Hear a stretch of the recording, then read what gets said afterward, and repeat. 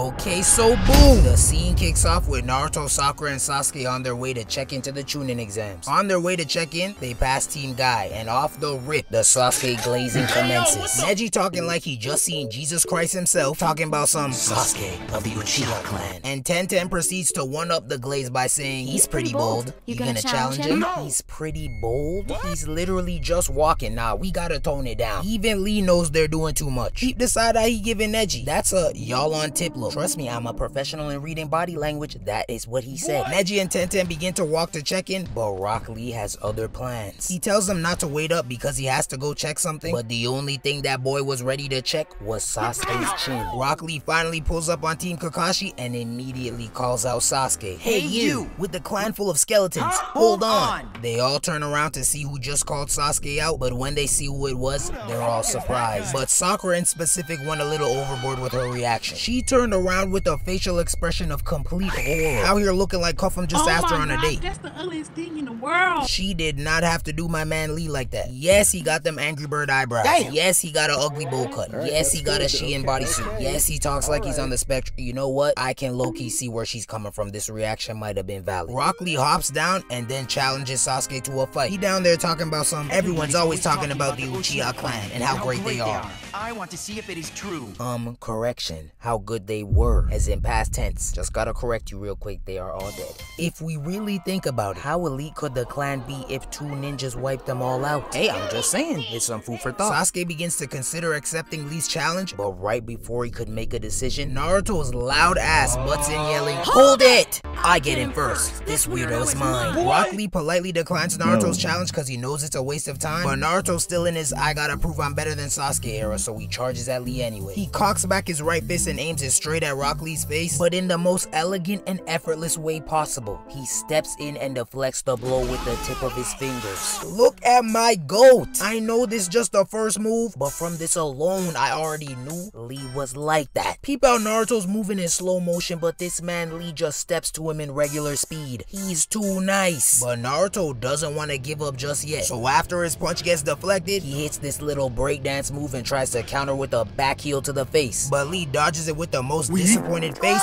then leg sweeps Naruto's hand, oh, sending him spinning into the wall. Just look at that effortless leg sweep. I know Naruto was embarrassed as hell. Lee had that man looking like a Beyblade for a good five seconds. And look how Lee held that pose. With them flexible ass legs, that Shein bodysuit got some real stretch to it. Lee then starts talking that smack, saying, just, Just accept, accept it. it. You have, no, chance against me. Your skills are inferior. And as cocky as this sounds, Lee was spitting. Cause Sasuke could not hang with Lee back then. And he was ready to prove it. After watching him wipe out Naruto with ease, Sasuke's still not convinced that Rock Lee can beat him. So he accepts his challenge. But Sakura's over there whining, talking about some, There's no time, Sasuke. We gotta register by 3 o'clock. Okay, so go register. We don't need you here. But unfortunately, that was not the answer Sasuke gave her. He lets her know that the fight will only take 5 seconds, then proceeds to charge at Lee, ready to kick off the fight. But for someone who claimed the fight would be short, he sure took a long time to get to Lee. This man looked like he was running in the same spot for a good few seconds. Out here looking like them slow-mo run TikTokers. If any of y'all are still doing this in 2024, please seek mental assistance. Sasuke finally gets to Lee, but as soon as he throws a punch, Lee dodges it with ease, then teleports in the air and hits him with a leaf hurricane. Sasuke initially dodges the kick, but Lee wastes no time and boots up another one. Sasuke sees that kick headed his way, so he puts his hand up to block it, but to his surprise, Lee still found a way to put the bottom of his dirty, nasty chonkos to his cheek. Look at his face! He's never been touched like this in his life. Toes all up in his face, smelling every fungi and bacteria colony growing in between them toes. But hey, on an unrelated note, my guy, I know times can be hard, but I know they're not that hard. You are rocking a size 7 right now, and we need to up that to a size 9. Your toes are damn near gripping the front of them sandals. Do better. This kick had Sasuke's body skipping across the ground, shaking like he got Parkinson's. Now he talking about some He's using some technique to get to me. but what is it? A ninjutsu or genjutsu? But unfortunately for him, it's a technique that he's not familiar with. The run them hands no jutsu. Sasuke gets up and decides he's done playing around, so he boots up his Sharingan. But the camera pans to Lee's face, and he is not phased in the slightest. The only one impressed by that move was his biggest fangirl. Sakura over there talking about some, You never know what Sasuke will do next. It's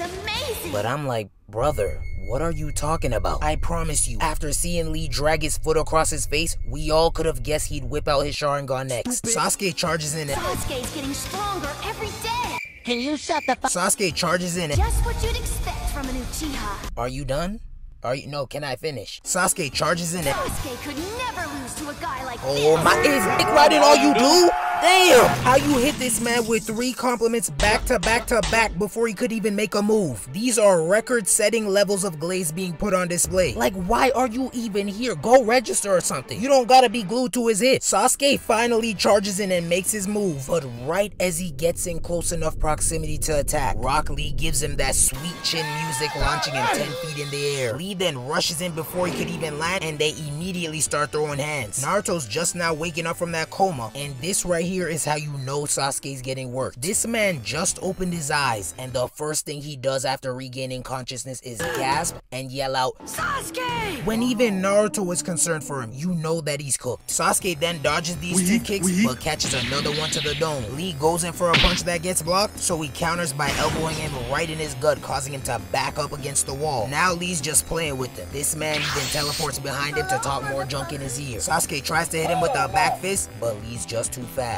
You can tell Sasuke is trying his hardest to lock in and figure out his tricks with his Sharingan, but that won't work. There's no way out of this. Rock Lee then proceeds to tell him exactly why his Sharingan won't work on him, saying that even if he can read his moves, he can't stop it either way because he's too slow. And this is honestly facts. Everybody knew Shaq's big back wasn't gonna be shooting no step back threes. He's gonna back you down and get to the rim. But the question is, can you stop it? And nine times out of ten, the answer was no. Rock Lee's still calling him slow in nine different ways, and this is getting Sasuke real mad. Listen to this growl. He is about to pop a vein. Sasuke charges in and starts throwing punches at Lee, but this man here is dodging every punch while giving him a speech. Rock Lee's finally ready to wrap up this fight, so he raises his leg and launches Sasuke in the air. Look at how he had that man floating. He was begging for someone to make an edit. He then teleports right behind him to commence his primary lotus. As he's chest to back with this man in the air, he's still talking that hot junk. He's in his ear talking about something. Now I will prove my point that hard work beats out natural talent.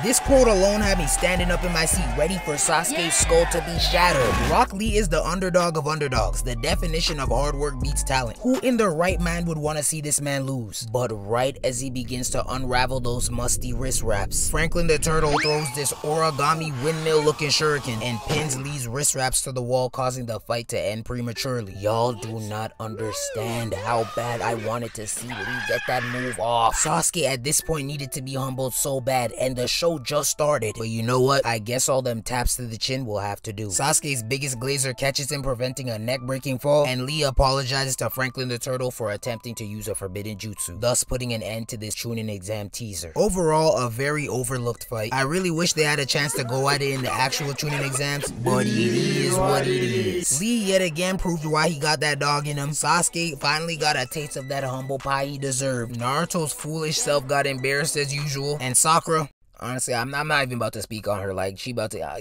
play the outro. I don't really wanna know. Shorty telling me her name. I don't really wanna know. Had to wake up, go to work. I ain't really wanna go. God be with me on my side. He be with me on the low.